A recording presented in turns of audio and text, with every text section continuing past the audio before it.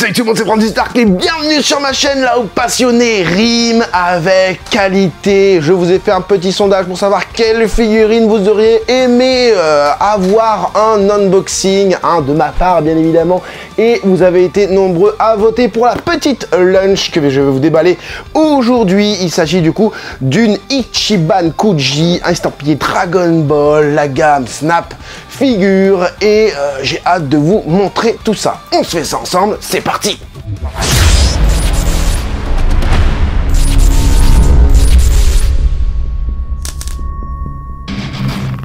Elle mesure environ 14 cm, elle est sortie le 21 juin 2024. On a ici une petite lunch, hein. quand je dis petite, je dis vraiment petite par rapport aux autres figurines, hein. c'est pas forcément à l'échelle, hein, voilà.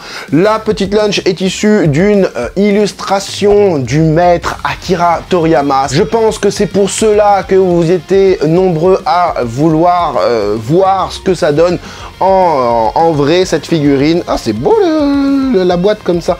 Enfin bref, la boîte, elle est comme as.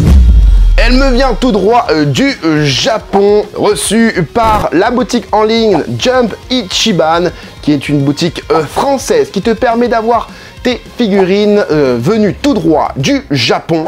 Et bien évidemment, c'est envoyé par FedEx et ça arrive très rapidement chez toi. Bah oui, FedEx. Ah, c'est du produit officiel. Hein. N'oublie pas aussi, tu as, euh, tu peux avoir un compte sur Jump Ichiban qui te permet d'avoir des points fidélité à force de commander, de commander, de commander. À un moment donné, tu peux convertir ces points en, en PC TAS et te faire encore plus plaisir. Et pour encore plus de plaisir, je t'invite à aller dans le description de cette vidéo pour déjà avoir le lien vers la boutique, mais aussi avoir les codes promo qui te permettent d'avoir 10% sur ta première commande et 5% à volonté, comme au chinois. Allez, c'est parti pour cette petite figurine. N'oubliez pas que dans le descriptif de cette vidéo, vous avez un chapitrage avec des timecodes qui vous permettent d'aller directement euh, voir le sculpte, les teintes, les proportions de la figurine, la taille, les comparaisons. Et bien évidemment, en fin de vidéo, vous avez euh, des plans euh, badass. Je sais pas si ça va être des plans badass pour cette lunch.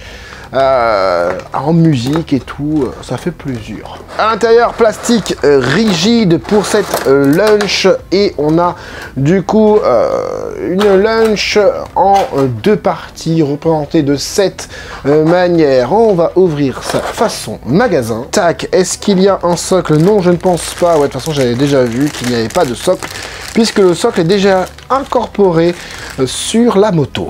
Et la petite moto... Oh, la moto Le, guidon bouge Le guidon bouge Trop bien Je pensais pas Super Ah ouais, franchement, je m'attendais pas à ce que euh, le guidon puisse bouger. Donc ça veut dire que limite, tu pourrais mettre ta petite moto bien tranquillou sans forcément mettre la lunch avec, ce, fameux guidon là qui bouge. Hein. tu peux le mettre du coup vraiment dans, le sens que tu le veux et ça fait vraiment très très très très beau. Au premier abord, cette moto Franzi, qu'est-ce que ça donne? Ah, il y a trois petits trucs qui ont changé, j'ai l'impression, hein, concernant le produit définitif. Hein. J'ai l'impression que c'est du... Ouais, c'est euh, pas, pas plein à l'intérieur, du coup. On a vraiment cette sensation de plastique euh, ABS, là, euh, vous savez, ce qu'ils font pour les coques, enfin, les, les socles, pardon, de Price. Vraiment cette sensation-là, c'est vraiment très, très, très... Enfin, léger, déjà, premièrement, et aussi, c'est pas plein, quoi. C'est creux à l'intérieur, vous voyez plus rien, ok? Tu vois, c'est vraiment... Vraiment creux à l'intérieur, hein, voilà. Voilà, c'est... Mais, mais, mais, ça, reste assez lourd quand même. Je pense que certaines parties... Voilà. Tu vois? Voilà, tu vois, ça a vraiment euh, des sons différents. Donc certaines parties qui doivent être euh, assez pleines et d'autres un peu moins. Du coup, on a le cale-pied euh, qui est ici, hein, que tu peux pas bouger le cale-pied. J'ai envie de, tout bouger du coup. Ah, elle est vraiment belle cette petite euh, moto et euh, la petite lunch du coup, qu'est-ce que ça donne? Ah, eh ben elle est mieux que ce que je pensais. Allez, on va passer au montage sur la boîte. Hein, je vais regarder les instructions. On a du coup euh, un premier première main droite qui vient se mettre là. Là, c'est clipsé et une fois que euh, c'est mis ici, ça se clipse euh, du haut vers le bas pour mettre la petite lunch, le petit doigt sur l'embrayage. Allez, c'est parti, on met ça bien tranquillement. Allez, je vous montre ça pour savoir comment il faut le faire. Ah ouais, c'est euh, c'est aussi le problème, c'est que c'est très fragile. Honnêtement, c'est hyper fragile. Je sais pas comment je vais faire pour mettre ça bien comme il faut dedans. Il faut y aller doucement en tout cas. Donc tu mets ça là-dedans. Voilà, parfait. Ça s'est mis et ensuite tu viens du coup clipser l'autre partie. Il faut l'écarter légèrement du coup. On va bien retenir. Alors désolé, je ne peux pas vous montrer ça euh, comme ça puisque la caméra n'est pas dans le bon angle. Mais voilà. Superbe. Superbe. Alors est-ce que du coup la roue, non, ça ne tourne plus. Une fois que tu mis lunch, le guidon ne tourne malheureusement plus. Bon, pas hyper grave puisque voilà, tu es censé la mettre comme ça. Ah, j'ai l'habitude d'avoir des euh, grosses Master là je suis trop haut pour regarder la figurine, donc je suis obligé de la monter un petit peu comme ça. Qu'est-ce que j'en pense? Eh ben c'est pas mal. C'est pas mal, c'est pas mal du tout. Le, mm, ouais, le, c'est pas si petit que ça. D'accord C'est plus petit, vous allez voir hein, de toute façon que les Gohan vélo hein, que je vous ai déballé dans la précédente vidéo. Mais euh, ça va, ça le fait, ça le fait. Mais c'est une figurine à angle. C'est une figurine à angle puisque tu as certains angles où euh, le Cara Design perd un petit peu de sa fidélité. Allez, donc on va parler de la pose du personnage. Comme vous le savez, elle est issue d'une illustration hein, que je vous mets juste à côté. voilà, euh, c'est plutôt fidèle c'est plutôt pas mal. Le fait d'avoir du mecha, c'est-à-dire une moto, franchement, ça fait vraiment plaisir. En plus, il y a du détail. Franchement, je suis immergé, d'accord euh, Surtout au niveau des roues. J'ai vraiment la sensation que la roue, elle peut tourner. moi, j'ai une roue un peu décalée. Ici, il y a un plus gros espace que ici. Après, peut-être que tout le monde c'est comme ça. Hein. Ouais, même regarde, la, roue avant, c'est pareil aussi. Donc voilà, j'ai un petit décalage au niveau des, roues. Peut-être que c'est comme ça pour tout le monde. Hein. Dites-le moi en commentaire, du coup, ça m'intéresse. Ou peut-être que c'est tout simplement le fait euh, de la mettre dans cet angle-là. C'est pour ça qu'ils ont fait ça. Je sais pas. Donc, on a la petite lunch avec le petit doigt sur l'embrayage, les pieds qui posent euh, pas hyper bien au sol. La figurine est un peu, euh, comme vous pouvez le voir, un petit peu bancale. Euh, voilà, ça tient pas non plus de ouf sur les côtés. Et au niveau des proportions, je trouve ça plutôt pas mal, même si je trouve la réalisation de la pose pas hyper pas hyper génial après je sais que même l'illustration c'était pas non plus hyper génial au niveau de, des jambes surtout Enfin bref, on va parler du coup du sculpte, hein, les détails de cette figurine. Alors, c'est ce que je pensais, vraiment la roue ta sensation, tu peux appuyer dessus et que c'est un pneu. En fait, tous les striures qui sont faites sur les roues, franchement, ça rend super bien. Voilà, ça rend super bien. Euh, on a vraiment la sensation que c'est un pneu, tu vois. Après, pareil, au niveau de la coque, euh, de, la moto, on a vraiment cette sensation coque d'antan, hein, voilà, euh, je sais pas quelle année, 1980 hein, et quelques, je sais pas combien, avec cette coque hyper prononcée, hein, volumineuse, mais aussi avec ce teint un peu euh, verni, euh, coque DS, coque 4L euh, plutôt. Je vous ai pas montré tout à l'heure, mais au niveau du siège, il y a les pliures au niveau du siège des, fesses de, lunch. Hein. Je vais essayer de vous montrer, j'espère que vous avez vu tout à l'heure quand je vous ai montré la moto. parce que là, j'ai vraiment pas envie d'enlever les mains sur le guidon, clairement. Ensuite, au niveau de, du phare, le phare, on est totalement immergé. Hein. Le cadre devant euh, du guidon, magnifique, chromé, euh, tout ce que tu veux. Et le phare, voilà, avec le beau focus dessus, c'est super bien fait. On a vraiment l'impression que ça va s'éclairer, quoi. Euh, j'ai même l'impression qu'ils ont pris vraiment une vraie vitre. de, de, lampe d'avant quoi tu vois pareil le phare arrière qui est super bien fait et aussi texturé en relief, tu vois, c'est pas un truc juste peint. Les petits pots d'échappement, la plaque d'immatriculation, pas mal, pas mal du tout. Et euh, vraiment le changement euh, que, je, que, je, trouve qui a été opéré, c'est au niveau bah, euh, du tableau de bord, si tu préfères. On a une clé, à la base je crois qu'elle été noire, là elle est verte. Donc vraiment ça fait penser une clé, moi j'ai un tracteur chez mon jardin avec, c'est la même clé, exactement la même clé. Donc vraiment très très beau. Et le petit, waouh Waouh, je crois qu'il y, a le kilométrage qui est euh, posé euh, à l'intérieur avec un stickers et franchement ça rend super bien. Euh, après il y a deux petits réservoirs sur les côtés, pareil c'est en relief tout ce qui est autour là. Donc les capuchons de réservoir sont vraiment très bien faits. Au niveau des mains, alors c'est tout petit, c'est plutôt bien fait c'est plutôt bien modélisé. Voilà, on est au-dessus de la modélisation d'une Prize, clairement. Allez, on repart sur, le bas des chaussures. On est sur quelque chose de simple qui fait un petit peu plastique. On a quelques pliures, oui, mais je sais pas, la forme du pied est un peu bizarre par rapport à la chaussure. La chaussette, elle est bien des deux côtés, enfin l'espèce de chaussette verte là, et aussi euh, la petite euh, ceinture euh, de, chaussures avec la petite boucle chromée c'est pas mal aussi. Ah, j'avais pas vu le petit lunch ici écrit hein, en relief, hein, une écriture en relief, franchement, c'est cool. Après, ouais, c'est ce que je disais, ça, ça fait un peu plastique aussi. Hein. Ça fait un petit peu plastique. Enfin bref, au niveau de la jambe, bah, c'est ça, c'est la modélisation de la jambe, je trouve. Quand tu la mets comme ça, je sais pas, je... Euh, après, c'est peut-être parce qu'elle est, elle est posée. Voilà, t'as plus cette immersion quand, elle est posée, du coup. Parce qu'on a, on a les jambes un peu appuyées, donc vers l'avant, et qui, euh, qui tient, hein, du coup, la moto. Hein, pas qu'elle tombe de droite ou à gauche. Euh, donc voilà. Au niveau du, du short, du petit short. Bah, honnêtement, j'ai vu euh, passer sur les réseaux sociaux les, les, les, figurines et je les voyais pas aussi détaillées. Le short, je trouve qu'il est bah, plutôt bien détaillé au final. On a le petit nombril aussi, de lunch, super beau, super bien fait, très finement fait surtout. Même au niveau du dos, on a les petits muscles représentés derrière la colonne vertébrale. Bah voilà, ça reste bien, ça reste une, figurine bien, bien modélisée, bien détaillée surtout. Même le haut ici, d'accord, avec les petits boobs, attends, on va voir les petits boobs. Attends, deux secondes, voilà. Merci pour le focus. Alors, les petits boobs, ils sont ici et ils sont représentés. Ça fait plaisir, c'est beau. Pas se mentir, on n'est pas des pervers, mais c'est super beau. Moi, je suis pour le culte de la femme. et euh, ouais, même les boobs sont pas hyper proéminents.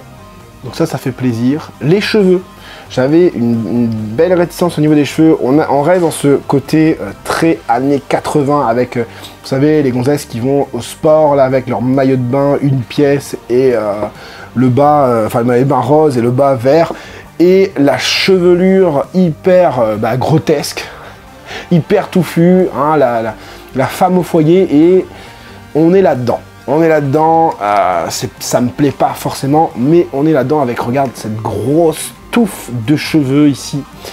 Euh, il me semble que sur la guitare Glamour, c'est pas aussi, euh, fidèle à l'année 80, etc. Mais là, si. Alors moi, je suis pas hyper fan, on est d'accord. Mais euh, je suis forcé de constater que c'est quand même bien fait, surtout concernant les jointures qu'on a bien, mais là, super bien agencée, puisqu'elle est voilà ici, d'accord? Donc elle est complètement invisible lorsque tu mets la figurine euh, ben, de, du bon angle. Donc ça c'est génial. Et euh, ouais, les cheveux sont, bien faits, la petite mèche devant le visage, le petit nœud, alors attention, hein, j'ai ma guitare Glamour, le nœud il s'est cassé, je, dois le recoller. là j'espère que je vais pas le casser, bah, c'est super. C'est super aussi. Et au niveau du visage, eh ben on reste sur un personnage assez choupi, kawaii, hein, waifu, pour ceux qui sont jeunes, bien évidemment, parce qu'elle est vachement jeune. Avec un petit nez aussi euh, représenté, euh, voilà, tu vois, il est, bien modélisé le nez, tu vois, comme tu peux le voir. Les yeux et tout, et on est sur un beau petit Cara Design. On va parler des couleurs. Alors, je vais essayer d'aller un peu plus vite sur les couleurs, puisqu'on a quand même parlé beaucoup du, du sculpt de cette figurine. les couleurs, on reste sur du, au niveau des pneus, du mat, d'accord, sans dégradé. Euh, on a du chromé en dessous, là, sur les côtés. Euh, pareil, du coup, à l'avant, euh, avec du mat sur les pneus, du chromé ici pour faire tourner la roue, là. La carrosserie est dans un beige uni, totalement uni. Il n'y a pas de dégradé sur cette fameuse carrosserie. Hein. Ici, on est sur du chromé aussi, là, à ce niveau-là. Voilà, du chromé, mais bronze, tu vois Pareil ici, c'est pas le même euh, chromé qu'ici euh, argenté. C'est un chromé bronze, un petit peu comme on avait vu sur la Gohan. Le cadre aussi est euh, bronze, tu vois, un petit côté bronze, pas carbone, mais bronze, quoi. on a, bah, pareil, ici, on est sur un côté un peu plus métallique. Bah, quoique, non, c'est à peu près pareil le bronze froid là un peu. ici, ouais, on, a, plusieurs teintes différents en fait. Il a vraiment plusieurs teintes différents. Là, c'est plutôt bronze foncé, bronze clair, et là, gris métal. Là, pareil, là, on est sur du bronze clair aussi, euh, à ce niveau-là, pour d'échappement, et puis euh, plaque d'immatriculation et tout ça. Là, ça fait un petit peu plastique à l'arrière, ici, là. Ça, c'est un peu dommage. Vous, avez peut-être l'impression que ça fait pas trop plastique. Moi, je trouve que ça fait un peu plastique ici, notamment par rapport au sculpte. Hein, je l'ai pas dit tout à l'heure, mais voilà. Le siège, eh ben, on a ce côté très euh, mat au niveau du siège et je trouve que ça fait euh, vraiment euh, bien mat d'un noir clair en fait tu vois les bottes rouges unies du jaune ça bave un peu de ce côté ci donc défaut de fabrication peut-être que de mon côté que sur ma figurine voilà. Les chaussettes sont vertes sans dégradé, voilà. Par contre, on a du dégradé sur la peau, et ça, ça fait vraiment plaisir. Je sais pas si vous arriverez à le voir, puisque j'ai quand même pas mal de lumière dessus, mais on a du dégradé sur la peau. Moi, j'ai des petites taches ici sur la peau, mais on a, ouais, on a du, du petit dégradé sur la peau. On a le short moutarde qui est sans dégradé aussi, où la peinture bave un petit peu. Ça a bavé un petit peu sur euh, la peau du personnage. Euh, là, le rouge aussi euh, de la boucle de ceinture, tu vois pas. le, rouge de la boucle de ceinture a bavé un petit peu, ça fait un petit peu pâté au niveau du, de la peinture. Le vert clair du haut euh, sans dégradé non plus. Les petites bretelles par contre sont un peu plus foncées. On a un très très beau dégradé par contre au niveau de cette chevelure avec du bleu euh, nuit qui part sur du noir. Euh, je sais pas si tu vas le voir. Tu vois ici c'est plutôt noir ici et là on est sur du bleu nuit. Donc ça fait très très beau. Encore une fois du dégradé sur les bras au niveau des mains, des gants. Hum, ça bave un petit peu aussi ça bave un petit peu aussi, j'espère que tu vas pouvoir le voir. C'est pas hyper euh, bien euh, fait, tu vois. C'est pas, ils sont pas partis dans la finesse de, la peinture, mais ils ont pas, quoi. Ils ont pas. C'est pas non plus catastrophique. Ça aurait pu être quand même un peu mieux. Et au niveau du visage, bah, les stickers sont bien faits au niveau des yeux, la bouche est euh, légèrement rosé. Donc ça rend bien. On va parler de la taille de cette figurine qui est annoncée à 14 cm et on va la mesurer, je vais la mettre en face de vous parce que vous, vous serez un petit peu plus en face du, produit. 15 cm, voilà, 1 cm de plus et on va mettre le petit Gohan vélo juste à côté pour que vous ayez vraiment euh, bah, un visuel, voilà, tac, tu vois, le Gohan, il est quand même vachement grand, donc malheureusement l'échelle euh, de ces figurines ne sont pas raccords entre elles, ça c'est vraiment Dommage. Alors, qu'est-ce que je pense de cette figurine? Eh ben, je te la valide, je te la conseille, hein, va dans la description de cette vidéo et euh, commande cette petite figurine. Ça pourra très très bien aller pour ceux qui ont le petit budget des prize, hein, puisqu'on est plutôt sur une échelle de prize, et tu te dis, bah, j'ai envie d'une bonne petite figurine, euh, un pays, et encore, c'est pas très très cher, euh, avec une moto et tout ça, et ça viendra compléter ta collection de prize ou sinon tu peux la mettre exposée en mode déco comme je te l'ai déjà dit euh, bah, avec le vélo de Gohan. Et euh, ça le fait grave. Et même si tu as envie d'avoir que la moto, hein, avec le guidon qui bouge et tout, eh ben c'est possible si tu trouves la, lunch pas forcément euh, bien détaillée. D'ailleurs, j'ai été surpris quand même, hein, j'ai été surpris euh, de, de, voir que bah, la figurine, le personnage en lui-même est plutôt bien fait, d'accord? Je pensais que ça allait être un petit peu, euh, un petit peu baveux, un petit peu machin. Bon, les couleurs, euh, oui, mais non, ça reste une très très belle figurine. La Nunch propose euh, quelque chose de plutôt sympathique à l'œil, hein, hein, sous tous ses angles. Et la moto, bah, elle, t'immerge vraiment dans ce côté un peu années 80, etc. Avec ces, ces grosses coques de, enfin les carrosseries bien volumineuse, bien imposante. Et pour me soutenir, moi, je t'invite à mettre le gros like. Dis-moi dans les commentaires ce que tu penses du coup de cette figurine. Si tu l'as déjà, dis-moi aussi ce que tu penses. J'espère en tout cas que cette petite vidéo vous aura plu et vous aura aidé, vous, les collectionneurs, à faire votre futur choix. C'était Franzy Stark, à la prochaine